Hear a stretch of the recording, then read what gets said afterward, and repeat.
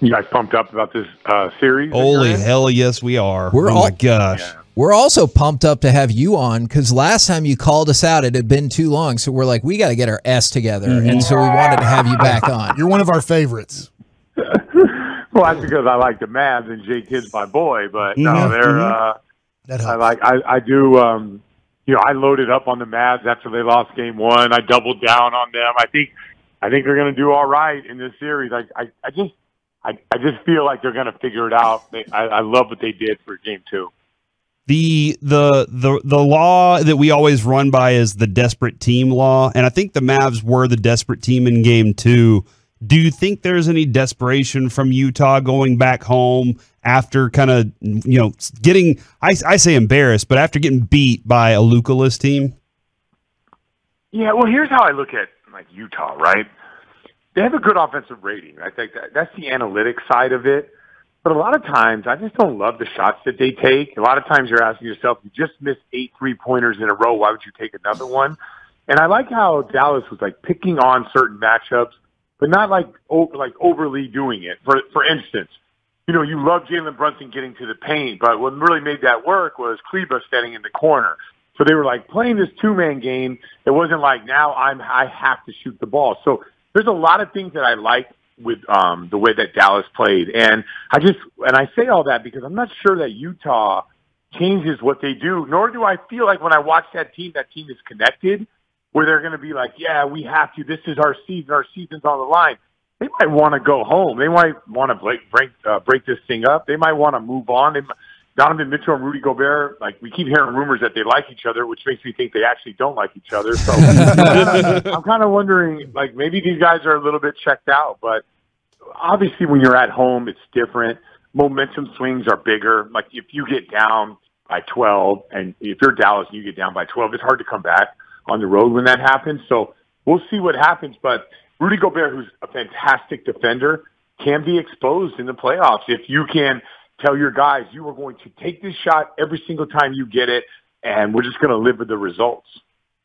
You know, looking Brian at the when they lost to the Clippers last year, kind of one thing that stands out is, and then the Mavericks two games is if you shoot forty percent from three or better against Utah, you win the game. Is that way too simple to look at it from a Maverick standpoint of making your threes? I mean, it's it's. uh But I would say I would just take it one step further. Like, what type of threes are you getting? You know, like here's here's a good example, right? Like, e- even this one might seem like the same shot. It's not the same shot. Ball gets driven, hits the wing. That wing touch pass over to the corner. Like even catching the ball from the cor- from the wing to the corner and then shooting it. Like some guys it doesn't matter, but some guys it does. But uh, as opposed to getting into the paint and then kicking it right out to you, that's an easy shot. So like those are called direct line shots. If the Mavs continue to get those shots where they crack the paint, Gobert comes in and you kick it out to the corner, if you get those, then I think yeah, I think they're gonna shoot over forty percent. But it depends. Like you can come down and take a bunch of bad shots, and then it's not. It doesn't become a make miss league. It becomes a good shot league versus a bad shot league. And as you saw throughout that game, they had appropriate aggressiveness in both. They got downhill, they got to the paint, but they moved it, and then the guy shot that like Kleber shooting the ball with confidence, Bullock shooting the ball with confidence. That's also part of it. You gotta you gotta believe that these are the shots we're gonna get, and we're gonna live with this. When you're getting that from your coach, from your players, from everybody, you shoot that ball with a little bit more confidence. Obviously, we have been almost entirely focused on the Luka injury, but with Booker, with Middleton, like you're starting to see them pile up. How big of an impact do you think this will be in terms of like shifting winners for series one or shifting the favorites? I think series one, obviously Luka would be the biggest impact. I think the Bucks and the Suns will both win their first round series. It does become an issue, like for the Bucks if they play the Celtics or the Nets in the second round. Um, I, I think Phoenix would be able to like like could get out of the series. Like like they're really good, and maybe maybe they're the difference maker if Luka can come back. Uh, you know, against the Phoenix Suns and and and Booker is out. Like that that could be a factor, but. I, I do think that of all the of all the guys who to get hurt, like Luka's probably one of the more valuable guys.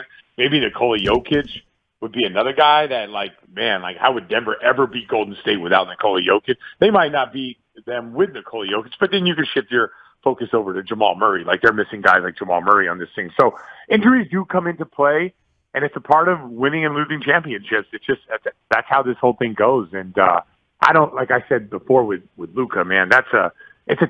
I still think Dallas is going to win the series, but um, it is it's got to be a much tougher series if he's not going to play. But I'm from from the outside, we're hearing game four, maybe game five. Are you guys hearing the exact same thing? Game, yeah, game four. The the question mark on tonight, but game four, you know, kind of maybe. Oh, I know, maybe. yeah, yeah, like yeah. I, know, I, I, think it's it, the the overwhelming feeling amongst the people here is that four is the game he'll be back for. Well, I would say, would you guys? I think I would roll the dice if somehow you win three. Doesn't that buy Luka one more game? Heck yeah, yeah it does. does. Absolutely. Yeah, that's kind of the way I would look at it too. Like if if the Mavs come out and get this win, this is like like that's huge. And then then you have a little, a little bit of house money, and then if Luka comes back for Game Five, then obviously for the calf or a hamstring or stuff like that, you want as much time as you possibly can. And if they can come away with a win in this one, this it'll it'll be a big win. It'll send a big message. So Brian, help us out here. I don't know if you ever dealt with a calf strain, or I'm sure you had teammates that at least did. When Luka comes back, whether it's tonight or whether it's Saturday, or Monday. What can we expect from his minutes? Because he usually plays all 12 minutes of the first quarter, then sits out approximately four to five minutes of the second quarter, then plays the last seven to eight minutes there, then plays all of the third quarter, sits out two to four minutes of the fourth quarter, then plays the last 10 to uh, eight minutes of the fourth quarter. When he comes back, would you expect that, or would you say, no, you can't push it that much?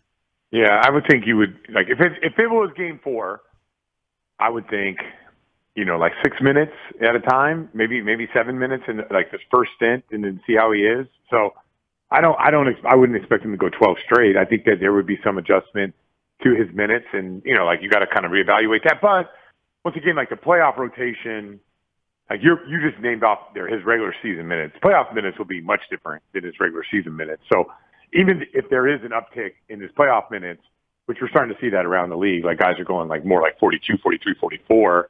Like I, I don't know if Luka will do that, but it, he he could play his normal regular season minutes. I think the biggest thing to do early on, especially with a calf, like I think calf hamstring groin, right? Like those are the three that you have to like. How you feeling? Come back to the bench. You feeling all right? It's a little bit tight. Okay, we got to work on it. Okay, how about now? It's a lot of that because you just never know. And, and if it goes again, he's out for you know, another, you know, three, four, five yeah. weeks. So it's one of those things like it's like you've got to have a sprained ankle because like a sprained ankle, you know what it feels like. All right, it hurts. Oh, it's feeling better. Cats, like you can still find. Look at look at Kevin Durant. And I'm not using. I, that's the worst case scenario. He was out six weeks, and he comes back. He has 12 points. He does a hesitation dribble on Kawhi Leonard, and boom, he snaps his Achilles. And no one, you can't tell me that they're not correlated. Like mm. I don't care what anybody says. Like that's there is a correlation between that. So it's just one of those things where you just got to be really precautious. But listen, those guys know more than we know. Like they, they pay millions of dollars a year for sports science and all that stuff to figure this whole thing out, and they're not going to risk Luka Doncic if they feel, feel like he's going to come back. And by the way, like I said, with the win in Game Two, and there's a this is a big uh, uh big a big Game Three. Like they got to be thinking about house money. Like how far can we push this thing down the road before we bring him back? Because even if you do win the series, you're going to have to go against that gauntlet called the Phoenix Suns. Speaking of house money, uh, Brian Scalabrine joined us here on the K&C Masterpiece on 105 through the fan. Magic Johnson tweeted out after Jalen Brunson's performance, he will be a free agent this summer and is going to get paid a lot of money. Huge opinion for his services. And I, I do, I do want to know: does that one game isn't alone the thing, the the factor for Jalen Brunson's offseason, right?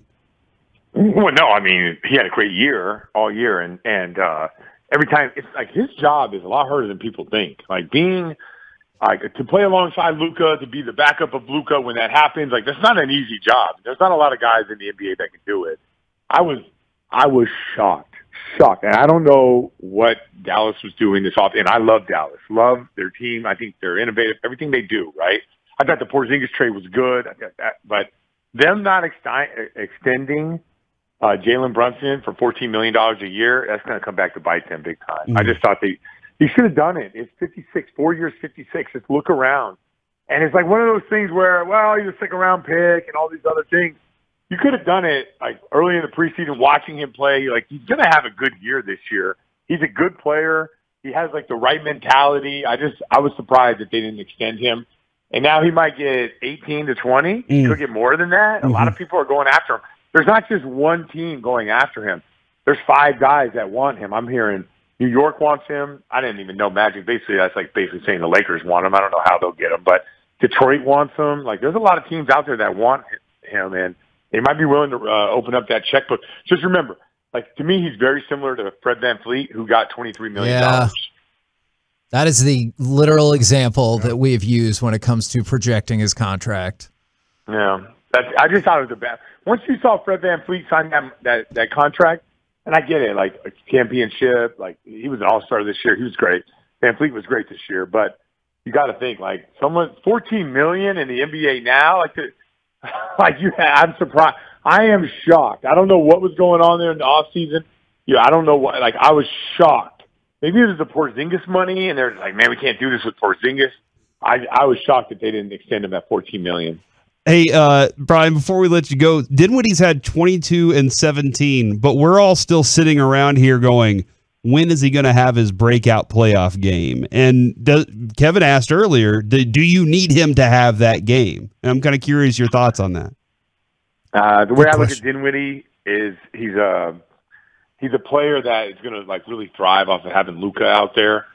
Um, it's it's it's no knock on him. Like sometimes in the NBA, and I would put myself in this category as well. Like I can't do certain things, and when you ask me to do certain things, I I, I go backwards, right? So I just think like with Luka on the floor with Dinwiddie, there's a lot of things that Spencer Dinwiddie can't do. Luka Doncic takes takes a lot of the heat off of him, and even Jalen Brunson to a certain extent.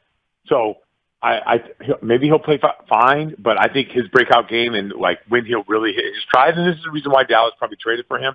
When when Luka's out there, Dinwiddie could have some really big nights, some really big nights. He has the personality, like the I don't care sometimes, which is not a bad thing all the time. It's a good thing sometimes.